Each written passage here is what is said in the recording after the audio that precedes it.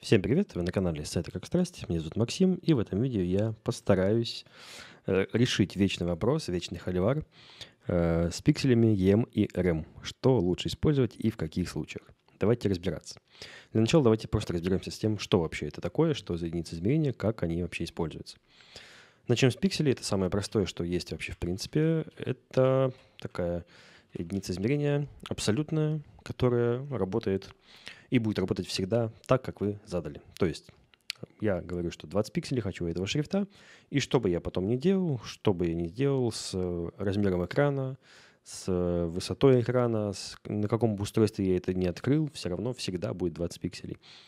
То есть э, буквально, что бы я ни сделал, ну, кроме изменения масштаба страницы, всегда размер будет таким, какой я его, э, каким я его задал, 20 пикселей, что бы я ни делал задам 16, будет 16 и так далее. То есть это абсолютно единица измерения, которая э, не подвержена никаким внешним факторам, кроме масштаба.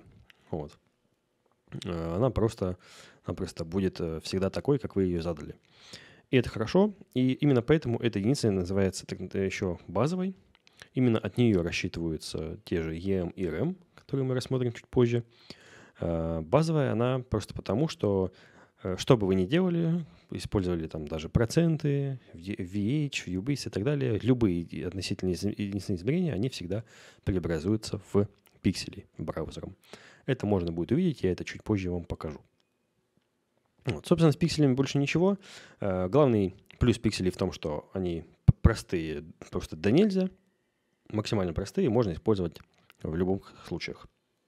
Ну, из минусов, которые многие говорят, но я не совсем согласен с этим, то, что пиксели слишком, скажем так, топорные, да, с ними сложнее адаптив, э, как говорят, э, и с ними могут быть проблемы, если нужно будет делать доступность.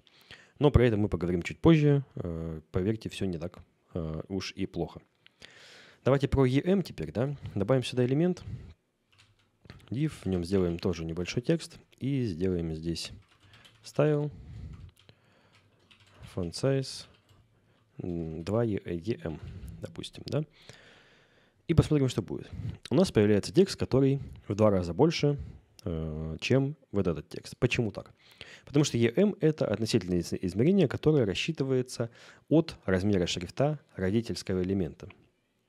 То есть, так получается, что у нас размер родителя 20 пикселей, вот он, а здесь мы указали 2 EM, то есть мы двойку умножаем на 20. Получаем здесь 40 пикселей.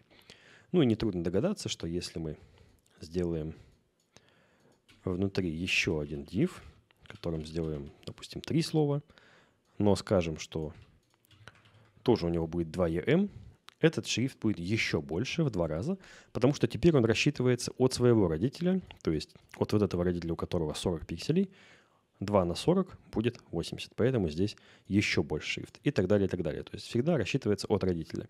Ну и по поводу пикселей, смотрите, если мы зайдем во вкладку Computed, мы увидим, что итоговый размер все равно в пикселях. То есть вкладка Computed — это то, что в итоговом варианте рассчитывается у нас. И мы видим, что у нас действительно все в итоге все равно приходит к пикселям, что бы мы ни делали. Для чего удобен EM? Честно говоря, я не знаю для чего. По мне, это крайне неудобная э, единица измерения. Э, единственное, для чего она может использоваться, на мой взгляд, это для э, единицы line height. То есть вы используете шрифт 20 пикселей и хотите, чтобы там э, height был там, не знаю, 1,5 UM от этих 20. Вот. Я только для этого вижу какое-то применение этому Э, этому, этой единицы измерения, честно говоря, больше никаких не вижу. В основном она для меня просто слишком, ну не то что сложная, а просто слишком запутывающая, действительно. То есть э, в коде, в большом коде, где куча элементов, понять, что вот это наследуется от вот этого, а вот это будет наследоваться уже от вот этого, и, и как-то перерасчитывать это все, ну, крайне сложно и неудобно, поэтому я бы просто это дело не использовал. Мне кажется, это просто бесполезная какая-то вещь. Э, которая просто зря усложняет нам э, жизнь, зря нам ломает голову. Хорошо, пойдем дальше и поговорим про ремы. Ремы — это, в общем-то, почти то же самое, но попроще. Попроще в том плане, что теперь расчет идет не от родительских элементов, от, а от корневого элемента страницы, то есть от HTML. Если мы скажем font size 10 пикселей, у тега HTML и скажем, что здесь будет 2 рема, мы получим ту же картину, просто потому что 2 мы умножаем уже на 10 именно у HTML. Не у ближайшего родителя, а именно у HTML. Это можно легко проверить. Поставим здесь 3 рема и увидим, что размер шрифта стал меньше. Посмотрим через компьютер. Он у нас стал 30 пикселей. То есть мы умножаем тройку именно на 10, а не на родительские элементы. Это очень важно, и в этом, конечно, главный плюс рема, что он гораздо проще для расчетов. А, и для чего может использоваться RAM в принципе? Ну, э, здесь довольно очевидно. Он может использоваться на э, тех сайтах, где э, нужно, чтобы размеры шрифта или просто размеры элементов менялись от действий пользователя. То есть это может быть либо какой-нибудь input, да, где будет сказано, что там, введи свой размер шрифта базовый, и будет увеличены все шрифты на странице. Да, можно вводить. Ну, это, конечно, пример топорный, но, тем не менее, плюс-минус показывает суть. И можно вводить, и, соответственно, на основе этого у вас будет работать вот такая вот вещь. Увеличение. Либо это же э, единица измерения RAM может влиять и на базовый размер шрифта всего браузера. То есть, если вы будете увеличивать размер шрифта всего, то и все шрифты или все элементы, которые написаны в ремах, у вас будет тоже увеличиваться в размерах. А, относительно вот этого размера шрифта базового. Потому что базовый размер шрифта 16 пикселей. И если мы вот эту десятку не будем задавать вот здесь, а, то, соответственно, будет все э, умножаться именно на 16 все эти значения. И если поменяем 16 на более какое-то большое значение, то, соответственно, везде тоже поменяется. Вот, и в этом главный плюс. А, ну и многие, опять же, я прочитал много статей перед записью этого видео, Многие как раз-таки сетуют на то, что, ну вот, для доступности, конечно же, только ремы, потому что ремы позволяют вот это вот все делать. Э, и действительно, да, это так отчасти. Но давайте разберемся более детально. Э, смотрите, э, еще раз, за что, так скажем, хейтят пиксели, да? За то, что сложно адаптировать, и за то, что доступность плохая. Насчет сложности адаптирования. Может быть, может быть это так, но только в определенных дизайнах. Э, потому что, ну, смотрите, допустим, вот раньше я тоже верстал на ремах. Э, допустим, что у вас э, размер шрифта на десктопе 20 пикселей. Ну, вы пишете у HTML там font size 10 пикселей, да, потом пишете, что у текста будет font size 2 rem, а потом на адаптиве размер шрифта становится, не знаю, там 1,8, ну, точнее, 18 пикселей, да, вы должны все равно использовать медиазапрос и прописать, что у вас либо вот это будет меняться на 1,8, да, то есть вы пишете медиа, max width, допустим, 600 пикселей, например, и вы должны писать, что либо текст у вас будет 1.8 rem, либо вот здесь должно стать значение меньше. А, окей, вы можете прописать вот это, будет работать, а можете изменить вот это. Но представим, что вам не нужно, чтобы вот эта единица менялась в другом месте, в дизайне. Ну, то есть, к примеру, чтобы один текст оставался всегда 20 пикселей, то есть 2 рема, и вы не можете поменять вот эту, эту единицу измерения. А, а в другом месте нужно, чтобы поменялся на 18. Вам, получается, придется вот это все-таки писать. Так в чем разница тогда между пикселями и ремами? Вы можете то же самое сделать. Написать здесь font size 20 пикселей, а потом здесь font size 18 пикселей. Никакой разницы нет. Вы что здесь используете строчку кода, что здесь пишете медиазапрос. И для ремов, и для пикселей. Вообще никакой разницы нет. Зачем тогда ремы, зачем лишнее вот это вот головоломание, чтобы придумать ну, вот это значение 1.8. Окей, при десятке еще хорошо. Вы все умножаете на 10, и все как бы понятно. А если 16?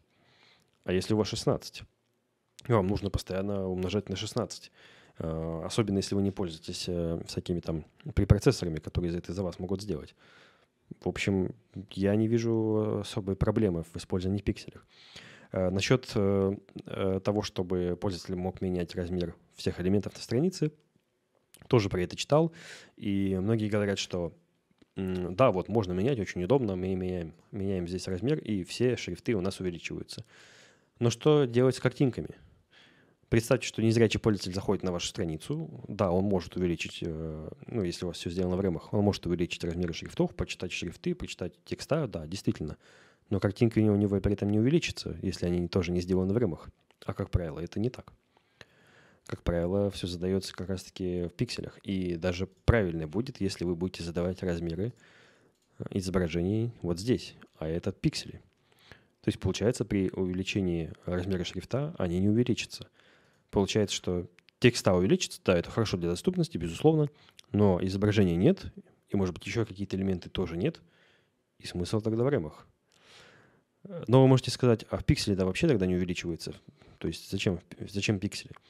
Но на самом деле, если посмотреть, вот мой один из последних сайтов, да, я увеличиваю масштаб страницы и прекрасным образом вижу все. Все увеличивается, все, все работает. И изображение, и текста, а, и вообще все-все-все элементы. То есть, чему я веду? Я веду к тому, что э, если нужно, чтобы пользователь увидел страницу больше, чтобы он смог разглядеть какие-то моменты, если он плохо видит, у него есть масштаб. Ему не обязательно менять, э, соответственно, базовый шрифт браузера, тем более ну, еще нужно найти, что это во внешнем виде, где-то там в настройках, ну, короче, запарно. Проще нажать Ctrl плюс или Ctrl минус, чтобы увеличить масштаб всей страницы. Вот другой пример. Я увеличиваю масштаб, и я прекрасно вижу все элементы, адаптив прекрасно работает. Здесь все на пикселях, кроме сетки. Сетка только в FR, ну, на гридах сделана. Это пиксели, это тоже пиксели.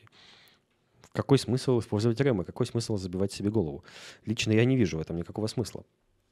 То же самое здесь. Э, сайт с гораздо большим размером контента, круче куча всего, но тоже все идеально работает, все просматривается. Я могу увеличить все что угодно и увидеть любой элемент. Ну, здесь, конечно, пиксельно становится, потому что и картинки такого размера, ну, тут уж э, ничего не поделать. Суть в том, что я могу увидеть это все и без ремов. Здесь ни одного рема нету вообще на всем сайте. А, в общем, к чему я веду, да, чтобы уже не затягивать на сто лет это видео. EM, а, как по мне, э, точно в топку, точно не нужно использовать, э, просто потому что это сложно. Лучше вместо этого использовать проценты. Тем более, если мы пойдем в любой макет фигмы, давайте сейчас я открою вам какой-нибудь пример. А, сейчас, сейчас, сейчас, сейчас какой-нибудь, да, вот тот же, один из последних. А, как правило, в фигме всегда у шрифта ну, э, очень часто здесь вот используется, здесь в данном случае пиксели, здесь может быть не лучшее решение, но очень часто используется процент. И даже вот э, как меня учат на курсе по дизайну, который я сейчас прямо прохожу у Яндекса, учат делать в процентах. То есть, э, если посмотреть, то здесь где-нибудь, ну давайте найдем, допустим, вот этот текст, проверим, и вот у него, видите, размер в процентах. Мы можем спокойненько задавать все дело в процентах, и все будет работать идеально. Поэтому EM даже для line-height а особо-то и не нужны. Вы можете просто скопировать э, из э, фигмы ваши там 120 или, как правило, еще ставят 140 процентов. Ну, вот здесь можно посмотреть у меня. Э, давайте в блоге где-нибудь. Здесь я ставил 140, потому что это, ну, или 160 даже где-то в каких-то местах, потому что это значение очень хорошее э, и для, удобное для чтения. Поэтому в емах не вижу никакого смысла. По поводу ремов, э, здесь э, ответ очень простой. Если действительно на вашем сайте вот заказчик прям говорит, что обязательно должна быть, ну, что у вас будет либо вот такая штучка, переключалка, да, либо заказчик говорит, что обязательно нужно, чтобы была поддержка, э, ну, так скажем, изменения размера шрифта браузера, окей, используйте ремы. Если нет, я не вижу никакой проблемы в пикселях. Они абсолютно ничем не хуже ремов, ну, на мой взгляд. Может быть, вы, конечно, в комментариях напишите еще какую-то причину, но в плане адаптива ничем не отличается.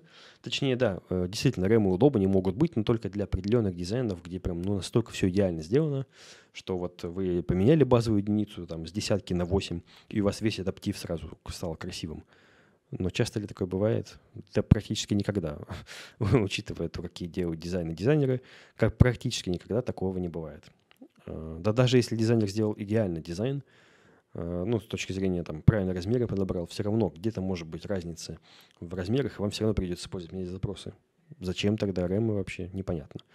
Так что RAM только в том случае, если нужно действительно вот прям обязательно на сайте сделать поддержку вот этого изменения размера шрифта базового, тогда да. Если же это не нужно, если достаточно масштаба, а на мой взгляд, это вот достаточно более чем, пиксели, ваш вариант пикселей, все очень будет быстро и удобно. С точки зрения адаптива тоже ничего сложного. Вы спокойно можете все это зашивать в переменные, вот как у меня здесь, например, да. И что у меня происходит при адаптиве? При адаптиве у меня ничего здесь не меняется, у меня меняется здесь. То есть я говорю, что у меня изначально был размер шрифта, допустим, там 110 пикселей. На адаптиве я говорю, что он будет 64, да, потом я говорю, что он будет 32, именно в переменных и так далее. И это все очень легко, быстро меняется. То же самое с другими размерами. Я все пишу в пикселях, потом говорю, что на адаптиве просто поменяй мне там значение там условно 40 э, на 28. И у меня все становится меньше, все становится удобно. Поэтому э, мой вердикт такой. EM не нужны, RAM только в определенных случаях, пиксели вполне себе подходят для всего. Если вы с этим не согласны, обязательно пишите комментарии, пишите ваши кейсы использования RAM. Все это обязательно обсудим в комментариях. Если вдруг найдется что-то прям супер крутое, чего я, может быть, не заметил, хорошо, обсудим. Может быть, я дополню еще одним видео. В общем, будем с этим делом еще э, разбираться и обсуждать. Но мое мнение вот такое. Надеюсь, оно вам было полезно. Если да, ставьте лайки, подписывайтесь на канал. И всем удачи, всем до скорого. Пока.